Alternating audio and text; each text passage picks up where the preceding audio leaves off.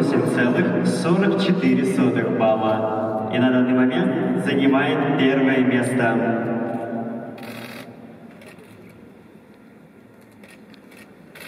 Для исполнения произвольной программы на лед приглашается Камила Валиева, Москва.